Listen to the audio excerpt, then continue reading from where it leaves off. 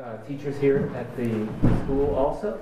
So I'm, I'm very lucky that he agreed to participate in the, in the portrait painting demonstration. So he's going to be my model. Thank you, Barry. Oh, you- you're welcome. Just Yeah. uh, forget about all the uh, movements or whatever, but I'll try and stay still. Yeah, good.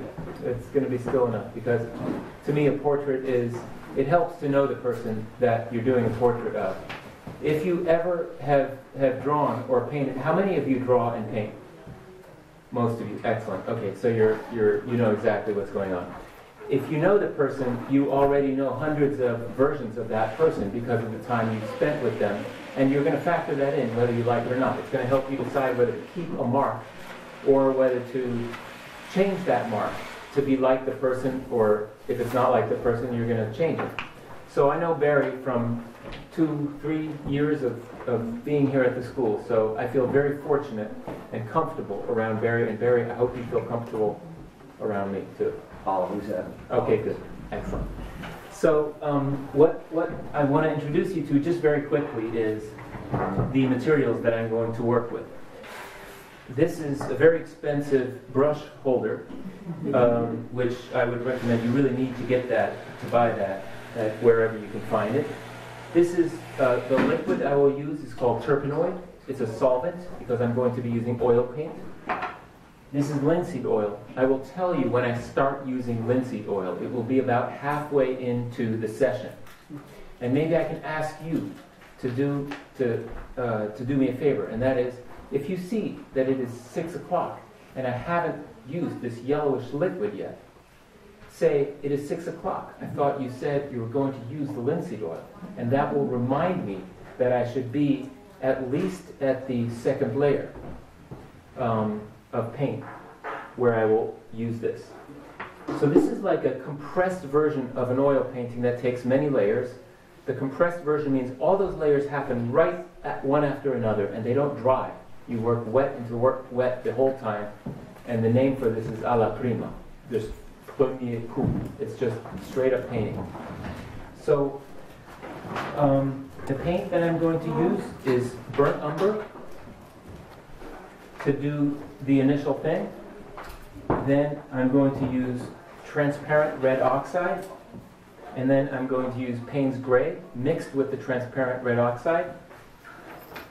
And at that point, the transparent paint will be my, my map. And then I will start using white. And that's all the colors I'm going to be using tonight. Three colors. Burnt umber, transparent red, Payne's gray, and titanium white. Um, okay. What else? Anything else? Are you using brushes or are you using, uh, Excellent question. I'm using palette knives to start with, only palette knives to start with, um, to mix. And then I'm going to probably start.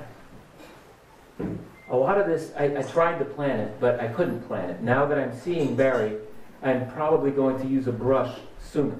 I'm going to be use, using a brush fairly soon into the into this. But first, I want to mix one color on my uh, piece of glass, which is my palette tonight. Glass works best as a palette for oil paint because when time comes to clean it, you can use a scraper and you can get the paint all the way off. Another reason glass is better than anything else is as you're mixing, none of the paint soaks into the surface. It just stays right on top so you know exactly what consistency your paint is. That's useful. So it needs to be very liquid first, and then it gradually gets more and more dry and um, thick. So let's get started. Um, I forgot to think about a musical accompaniment or something like that. You want me to put it on? Yeah, can you put it on Barry? Can you actually choose what you want to hear? That's the Yeah. model's prerogative. Oh, really? Thank you, Barry. Change what it, it's you. You can, you can do the music. You just feel comfortable with that.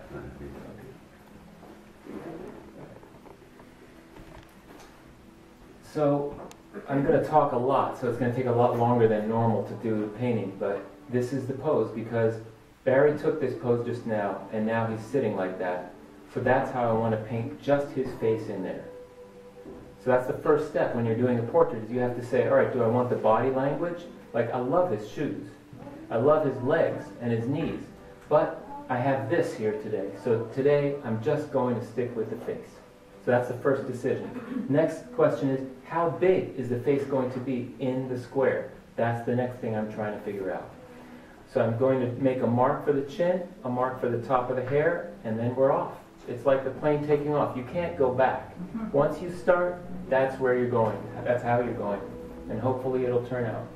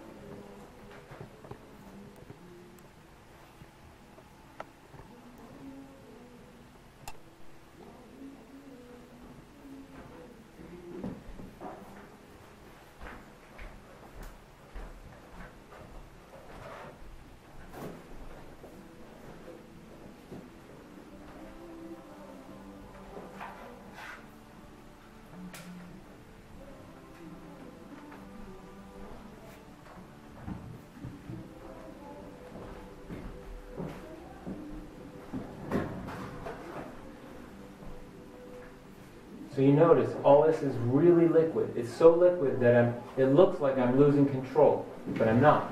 I'm just making it so that this shadow color of that side of the face can be all over here. And I'm just thinking about how much space the hair uses, how much space this uses, and what's going to, how, how much of this is going to be here, and if that's good for the pose. So right now I'm not sure how much black I'm going to have in the bottom half of the painting, so guess what I'm doing? I'm just trying it out. Painting is trial and error. I want it to be very liquid at this stage. What's the liquid? It's Turpenoid, it's solvent. It's very simple. So this is like a watercolor.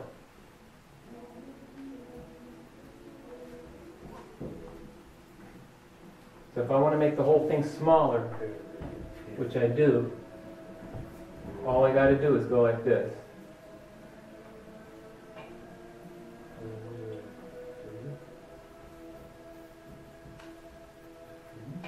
So I'm changing my mind early on in the painting. And that doesn't mean you're a bad painter. It just means you changed your mind. Because you saw why you need to change your mind. So this is a little smaller than those original marks. Remember they were there and there.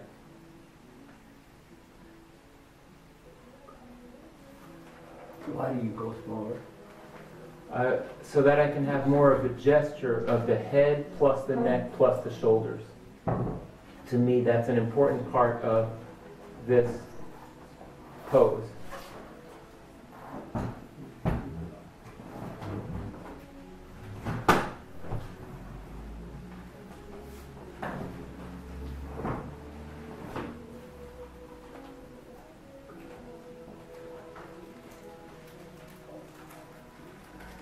Trying to do is I'm trying to lay in the shadows all together in big groups so that I can then work with them as a big mass. As soon as I know that I have the right size, I can start putting in more areas of color. So I know it looks like a mess right now, and it is, but that's okay. When people say you got to take risks in painting, this is what they mean. Okay, now. You still okay, Barry, or do you want to break? No, no, no, no. You're good? I'm good. Could you turn the music up? No, What's the mixture? Is it burnt umber and your red? Burnt umber, red, and a little bit of the Payne's gray. So all of the dark to colors all together. Yes. So now what I'm going to do is I'm going to get back. I'm, I'm, what I'm doing is I'm using this rag like a brush, and I'm trying to pick out the lights so that I have the gesture a little bit uh, of the of the pose. And I like it. I actually think this is going to work now. So what I can do is I can start to put in the blacks. See how quickly your mind can accept something that it thinks is going to work. And then you can go ahead to the next stage. Next stage is going to be putting in the blacks of this bottom part. And I'm going to use a palette knife for that. Because now I say to myself, well, I need something to start from.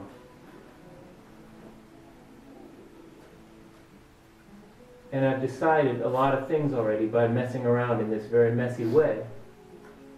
So now, once I start with this, I know that's going to stay there. And you see how rough I'm working. It's okay to be rough in the beginning. In fact, if you do a brush stroke, I'm going to show you guys something. If you do something like this, and you say, oh, I really want to keep that. It's a terrible thing in the beginning of your painting because how are you going to do your painting if you want to keep that little thing? It's terrible. So the best thing is to do something that's not quite good, but to do something that you know is maybe going to get good. Just don't keep it if you know it's going to be bad for sure, but keep it if it could possibly become good.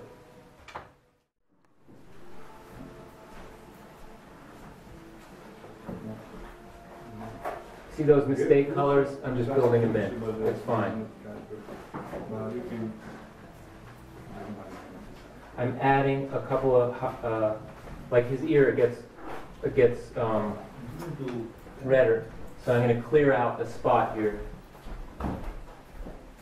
for his ear. See how I just cleared that out? It's very easy to do in oil paint. In, in acrylic, that would have been dry already. You couldn't change that. But in oil paint, that's why you want those working properties to be a little bit longer so that you can do things like what I just did.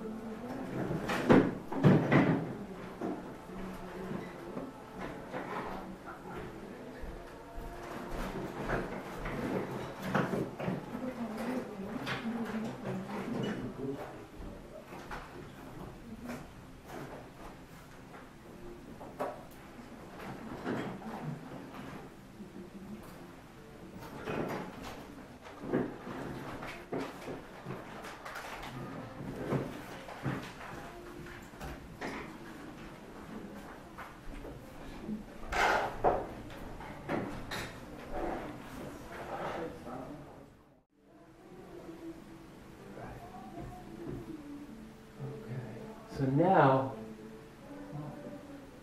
I'm at a point where I can do what people would call the portrait. The portrait means I'm going to now use dark colors and place things like the eyes, the, the parts of the nose I can see, the corners of the mouth, that all those feature kind of related elements. And if I get those right, it will start looking like him now. So I've blocked in the very rough colors, thinking ahead, trying to think ahead. And now is the time when hopefully it will start to look a little bit like Barry. Notice what I'm doing with my brush, you guys. Dipping a little bit back into the linseed oil finally because I want a little bit more precision and accuracy. Now, what's the color that I've got in there? It's a dark, warmish color. I, I can't describe it. You'll see it when it lands on there. It's, it's got a function as the eyes, the shadows of the eyes, the shadows of the nose, corners of the mouth. Like it's got a function as a lot of things, so it's pretty neutral.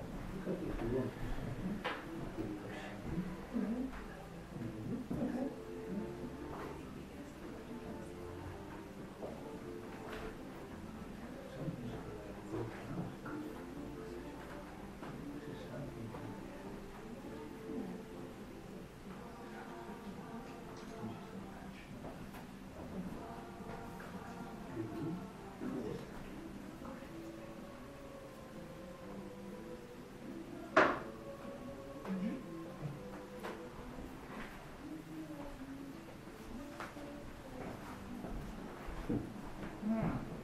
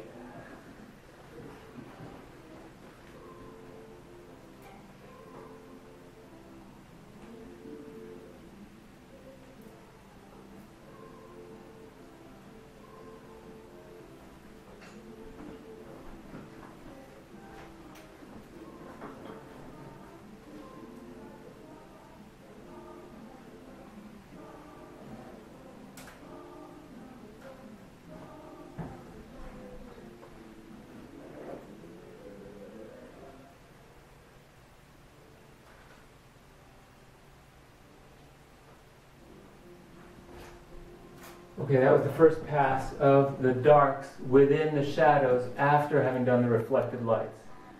So I haven't even done the lights yet. Take a break, Barry. Thank you. Ed, would you like a stool? No, I'm, I'm fine. It's, it's, so pre-mixing the colors is probably the single most important thing that looks like you're just playing around. But in fact, you're technically doing exactly what you need so that when you move the paint from here to here, you're, you're not going to have to guess. You know already that there's good things there, ready to go. Um, and all you have to do is put it on and then move it around right. So, so that was the important work that I just now did. And here we go. This is the fun part. I say fun because you can use your drawing skills even with a big brush and a loose painting. It's fun.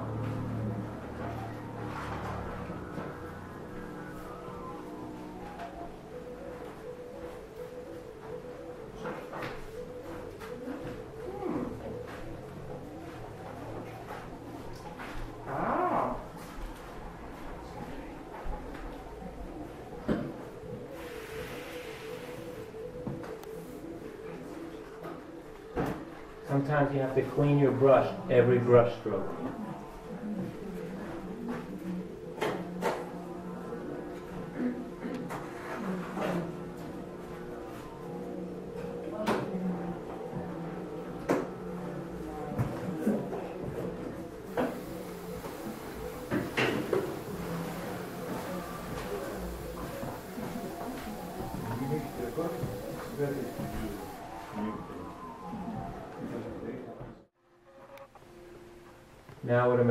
Giving the hair a little bit of direction because before it was just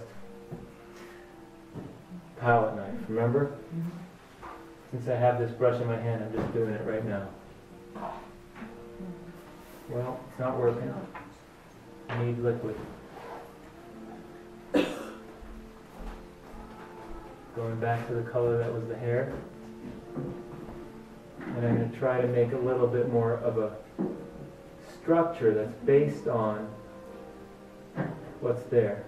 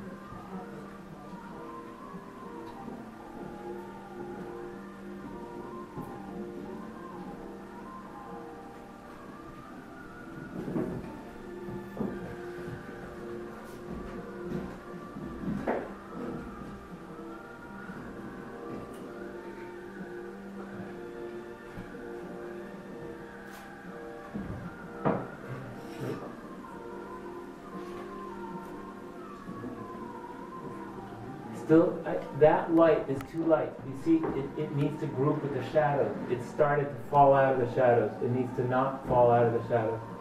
Are you guys following me? It needs to be darker. So to do that, you can use other paint that you already have. How Are you gonna do it?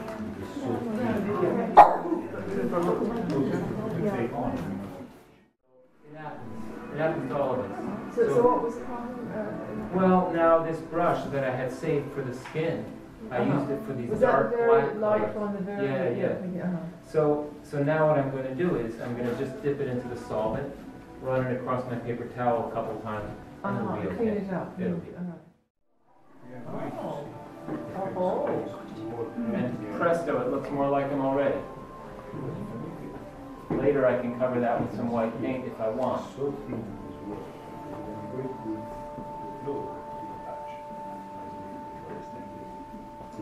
Bear with me here, I'm not quite done.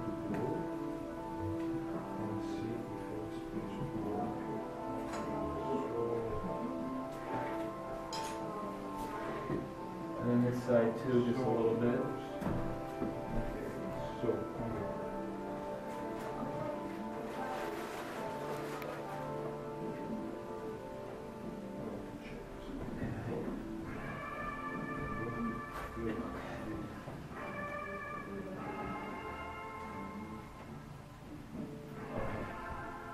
Good enough in terms of the correction. Now, back to work. What I need to do is, this is supposed to be a portrait, so I need to get into those parts again. That first time I said, remember I said, now it's gonna start to look like a portrait? I'm back to that. Adjusting, hopefully refining the darks within the face and the lights and the way the lights and the darks interact. So let's see. So now the proof will be in the pudding. Did I clean my brush enough? And because I, I've done this a lot and I made the same mistake a lot, I'm using darker colors in the face first. Just in case I didn't clean it enough, it's gonna be okay.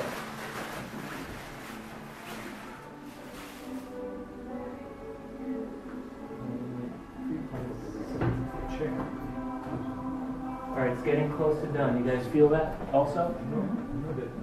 Yeah? It's not, it doesn't need that much more actual work. And at this stage,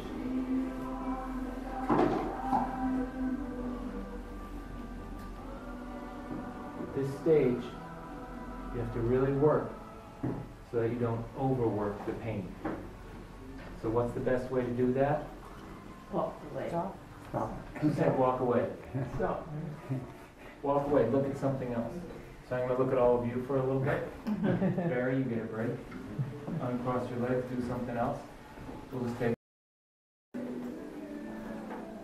All right, now I'm going for the highlights in the hair. Somebody said that to me. They said, are you gonna do that silky look to the hair? And here, I'm trying to now, gonna be doing it here. So now is the time. Don't do this kind of stuff too early though, because it'll just look like you're, look like you're putting icing on the cake before the cake is done. You don't want that. This, everybody knows that this is a good effect that you get. So save it for when you need it at the very end, like now.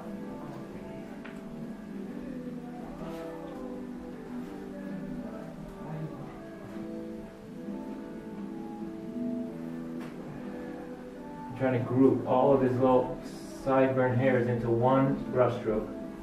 One brush stroke, which ends right at the right distance. Two brush strokes. Trying to keep the hair the right color, so it's still shadow.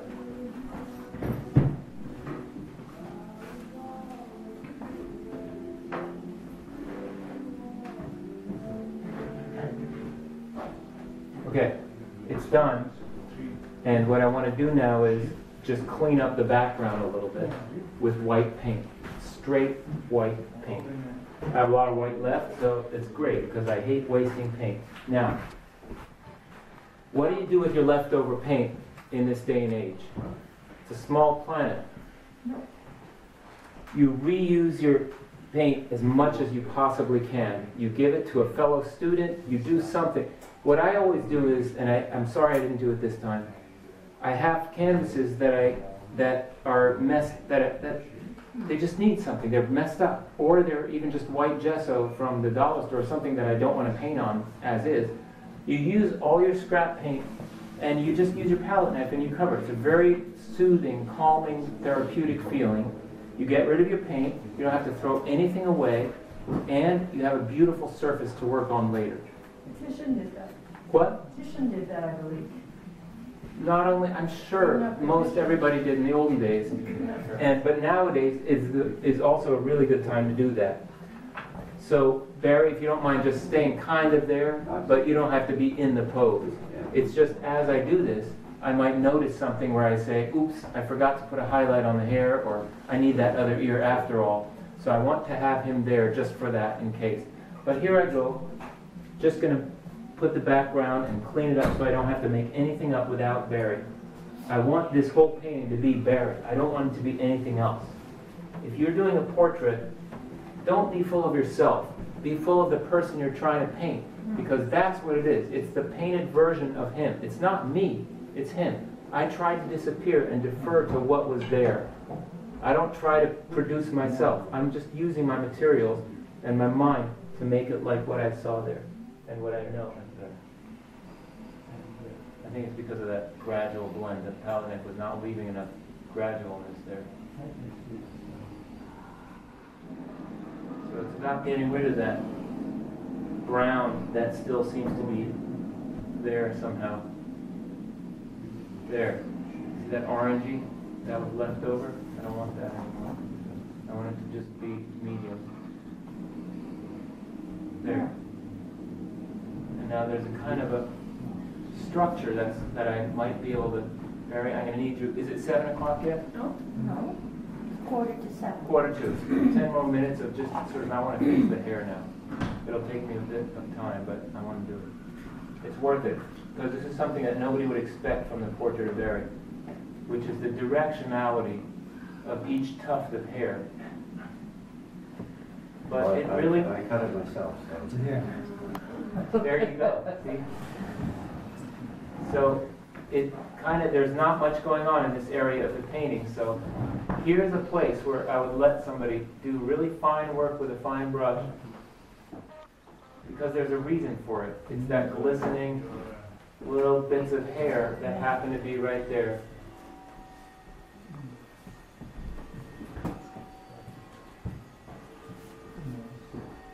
And it kind of does specific things, and it's warm and cool. You see these temperatures? They're very specific. Trying to get them very specific there. And here it comes in like that. Just one more, there needs to be a reflected light right here to give this plane a little bit more presence.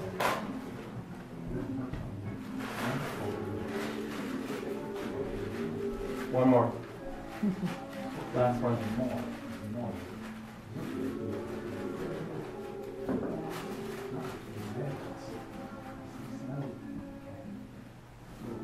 Yes, okay. That's it? We're done.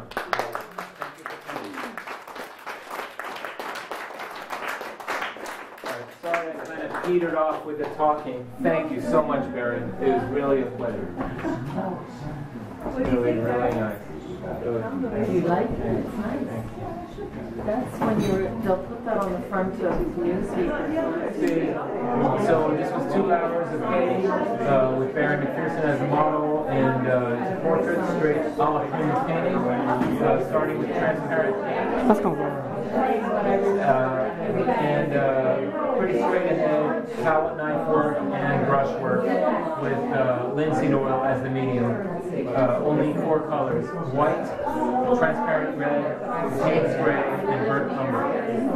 Thank you. My name is Ed Fuller.